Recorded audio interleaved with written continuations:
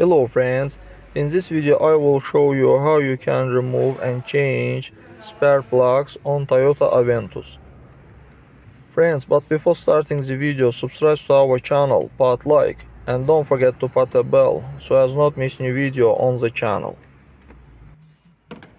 Friends, to change spark plugs we need disconnect wires and remove coils. After that we change our spark plugs.